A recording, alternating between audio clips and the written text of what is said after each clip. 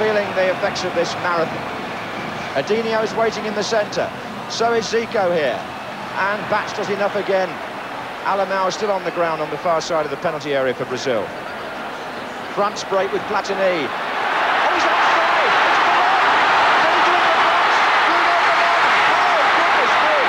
Oh!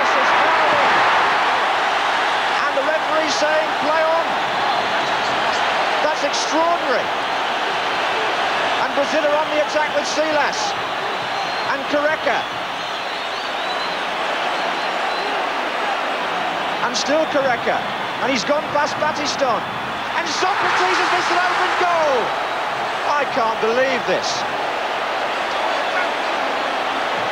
Socrates never looked like getting in position to put that in the net. It only needed a side foot, but look at him, a tired man falling over before the ball came. But we have seen here one of the most dramatic incidents in the whole history of the World Cup, proving that the referee has made, I will feel, an extreme mistake. It proves also that the laws of the game are not sufficient to cover for this incident because that is a goal for France or should be at least a penalty. Because it took place outside the area, the referee couldn't give a penalty, but who would believe he would give nothing? And who would believe that the goalkeeper wouldn't get the yellow card? Or even the red one? I mean, that's, as you said, France were in the semi-finals there for a split second. Here's Bellone, the man who was involved.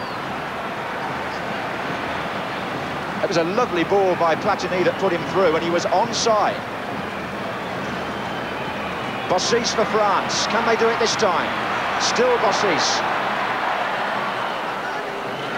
Well, Carlos, the goalkeeper, must be the luckiest man in football at this moment. And the French, the most disappointed.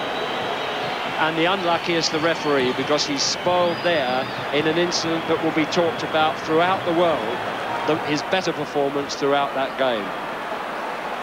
Yes, it ranks with the decision in the first match here when the referee from Australia disallowed the goal by Michel. Brazil were lucky on that occasion, and they're even luckier here today.